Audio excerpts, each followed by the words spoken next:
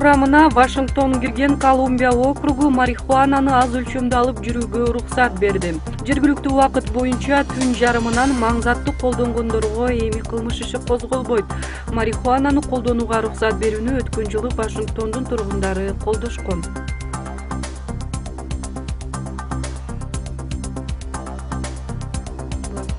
мексикада жанар тоо активдешип пуэбло аэропортунда эл аралык авиакаттамдар токтотулду.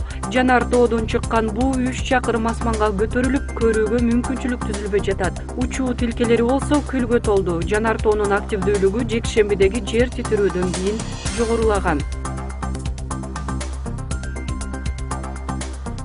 нью йоркто ислам мамлекети уюмуна кошулууну каалаган өзбекстандык эки казакстандык бир жаран кармалды. Фбр аларды шаардын бруклин аймагында колго түшүргөн. Үчөө тең бруклинде жашап жаткан. Өзбекстандыктардын бири отуз бири жыйырма төрт жашта казакстандык жигит он тогузга чыкканы аныкталды. Алар өзүн ислам мамлекети деп атап алган экстремисттик топко каржылык көмөк көрсөткөн. Жана туркия аркылуу сирияга өтүп согушкерлердин катарына кошулууга аракет кылган деп айыпталып жатат. Эгер алардын күнөөсү далилденсе он беш жылга чейин эркинен ажыратылат